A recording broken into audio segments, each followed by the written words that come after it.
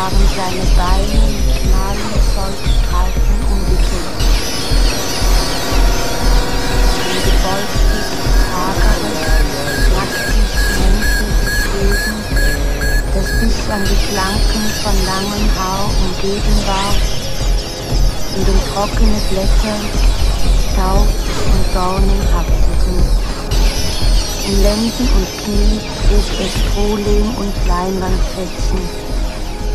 Seine schlaffe, erdfarbene Haut hing wie Lumpen auf trockenen Zweigen um seine fleischlosen Glieder.